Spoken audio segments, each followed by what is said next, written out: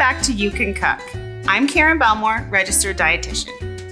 Making mistakes in the kitchen can happen to anyone at any time in the cooking process. So today we're going to talk about some common mistakes that can happen and how you can save your dish from heading into the garbage. So mistake number one, your dish is too salty. Simply add more of everything that you have in your dish. So if it's a soup, add more liquid. If it's a stew, add more vegetables or meat. Browning them first works even better. Once that salt is diluted, your dish should be back on track. You can also try to add a little sugar. The sweetness helps to balance the saltiness. But remember that a little goes a long way, so start slow and taste as you go. Mistake number two, your dish is too sour. Sourness comes from acidic ingredients, including tomatoes, wine, and vinegar. If your dish tastes too sour, try to add sweetness. Think sugar, honey, cream, or even caramelized onions, which become tender and sweet as they cooked. But only if onions complement your dish, of course. You can also dilute the dish, same as you would with a dish with too much salt, by adding more of the ingredients you are using or liquid. Mistake number three, your dish is too spicy. You can immediately counteract it with dairy, such as cream or butter.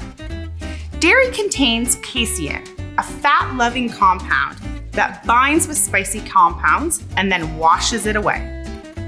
If the spiciness is from non-pepper sources, you can also fix it with a touch of cream or butter. Also effective is a pinch of sugar. You can also add more ingredients to lessen the proportion of the spicy element. Whatever ingredients you have extra of. Mistake number four, your dish is too bland. When a dish is too bland, the first thing to do is add a pinch of salt, which brings out all of the other flavors. You can also add a pinch of sugar to bring out sweetness or a splash of vinegar to bring out sour notes. As with anything mentioned, use caution because a little goes a long way. Mistake number five, you overcook or undercooked your pasta.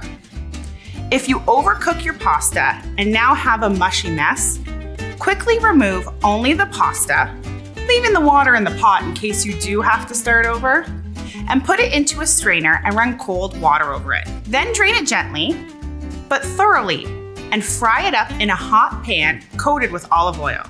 It should crisp up on the outer surface. Undercooked pasta is much easier to remedy than overcooked pasta. If you save the water or have time to reboil a pot, you can boil it again and place the pasta in for another minute at a time.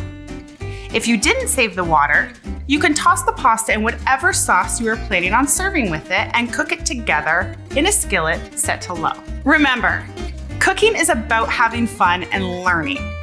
Not everything will be a masterpiece, but with the tricks you learned today, you can help save any mishaps that do happen. Be sure to check out wechu.org slash you can cook for more tips and recipes.